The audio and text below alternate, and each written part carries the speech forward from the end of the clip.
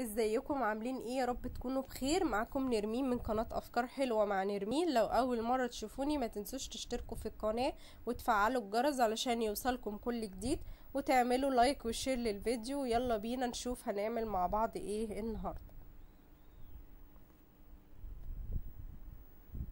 أول فكرة معانا ده غطا علبة بلاستيك آه ودي زي coasterات كده من الخشب. كانت قديمة عندي فأنا قصيتها وأخدت الخشب ده. كانت هي عبارة عن خيوط كده يعني متربطة بالخشب.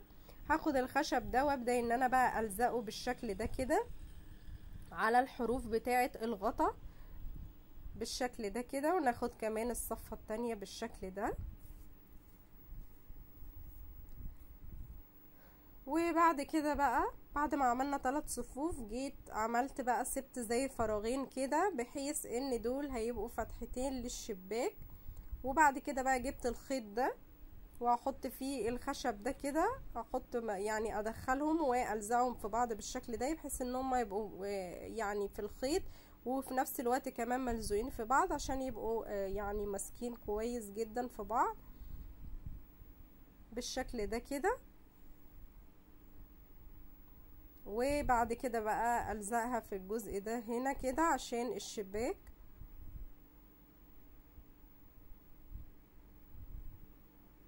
الشكل ده. ونبدأ نكمل الخشب تاني. وهنا بقى ده دانتيل. لزقته كده من النص من الجنب عشان يبقى زي ستارة للشباك. عملت أربع وحدات وهلزقهم من جوه بالشكل ده كده. بعد كده بقى جبت خيط الخيش وهلزقه بالشكل ده كده هنا في الجزء الأبيض ده. يا ريت بقى لو أول مرة تشوفوني ما تنسوش تشتركوا في القناة وتفعلوا الجرس عشان يوصلكم كل جديد ولو عجبكم الفيديو ما تنسوش ال like وال share.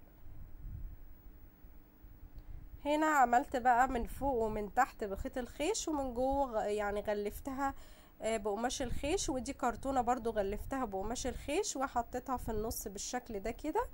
وده بقى يعتبر كده الشكل النهائي آه للفكرة الأولى. آه يعني نقدر نستخدمه في أي حاجة نحط فيه make up نحط فيه أي حاجة إحنا عاوزينها. ودي كانت الفكرة الأولى. يلا بينا نشوف الفكرة التانية. ازازة زيت بلاستيك هبدأ إن أنا بقى أقص الجزء ده كده اللي تحت أخده وبعد كده أجيب خيط الخيش وألفه على الجزء البلاستيك اللي معايا بتاع ازازة الزيت ونلفه عليها بالشكل ده كلها كده. وبعد كده هنغلفها من جوه بالقماش الكارو ده. وعملنا كرتونة على قد القاعدة من جوه وغلفناها بالقماش اللي هو الكارو. وهبدأ إن أنا ألزقها من جوه كده وعملت كمان قطع في النص كده برضو من الكرتون. وهغلفها برضو بنفس القماش. وهنا أخدت برضو من العلبة البلاستيك عملت زي إيد وهلف عليها خيط الخيش. وسايبة من تحت كده يعني كل جزء من تحت سايباه فاضي ما حطيتش عليه خيط الخيش عشان أعرف ألزقه من جوه بالشكل ده كده. وهبدأ بقى إن أنا أحط كمان الكرتونة اللي أنا عملتها في النص بالشكل ده.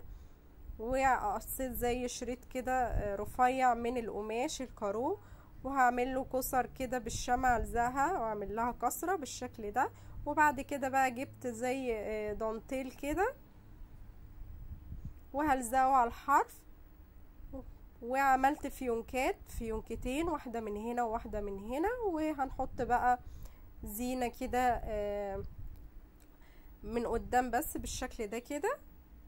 وده الشكل النهائي نقدر نستخدمها في أي حاجة نحطها على السفرة نحط فيها ملح وفلفل مثلا أو نستخدمها في المطبخ نحط كبريت ولاعة كده يعني.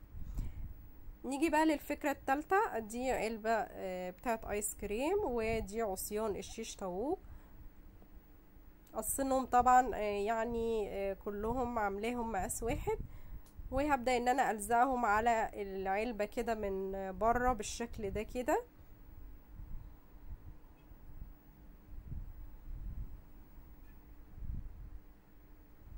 وهنا بقى بعد ما خلصت كده العلبة كلها بالعصيان هنجيب بقى خيط الخيش ده وهبدأ إن أنا ألزقه على العلبة وألفه كده. بنلف بقى بالشكل ده كده لحد ما نخلص الجزء اللي هو عليه العلبة نفسها.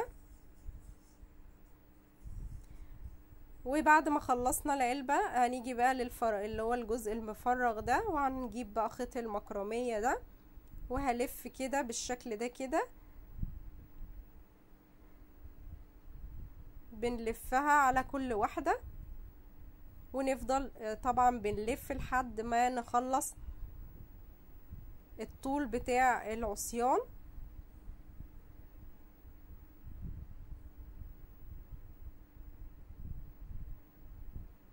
بعد كده بقى ممكن نجيب سلك رباط ده زي خراطيم رفيعة كده عندي. بلف عليها بقى خيط الخيش بحيث إن أنا أعمل الإيدين. اللي عنده سلك رباط أو عنده أي حاجة تنفع عادي مش هتقول لأ.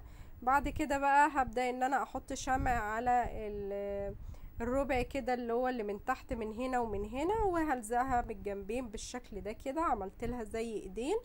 وهجيب بقى وردات من الفوم والزقها عليها من قدام. وده شريط من اللولي.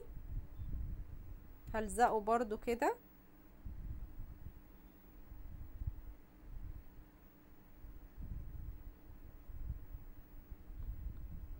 وهنحط كمان في النص كده برضو.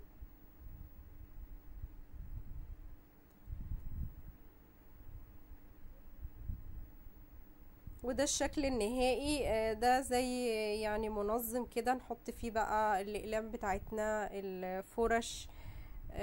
أي حاجة توك مثلا إكسسوارات تكون صغيرة. أي حاجة نقدر نستخدمها. ودي الفكرة التالتة. ويلا بينا نشوف الفكرة الرابعة.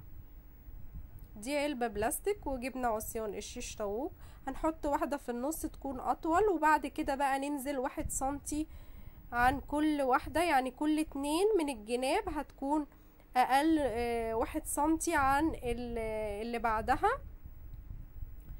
بحيث إن هي تبقى نازلة زي مثلث كده من الجنب ده ومن الجنب ده. وبعد كده جبت خيط الخيش وبعد كده هلفه على العلبة البلاستيك بالشكل ده. زي ما قلت إن إن البلاستيك ما نسخنش الشمع قوي عشان ما يسيحش البلاستيك. وبعد كده جبنا خيط الخيش وهلفه على العصيان بتاعه الشيش طاووق بالشكل ده كده. هنفضل نلفها لحد ما نخلص العصيان. وبعد كده غلفتها من جوه بالقماش الكارو ده. وجبت شريط اللي هو الكور الصوف ده. وهلزقه عليه بالحرف بالشكل ده كده.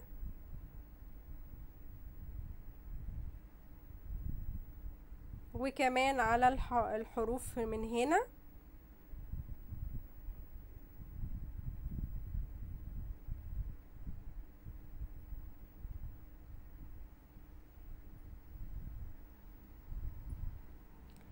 وجبت قماش الخيش ولزقت عليه كلمتين بالورق كلمة سكر وشاي بالإنجليزي وهلزقهم هنا في النص كده.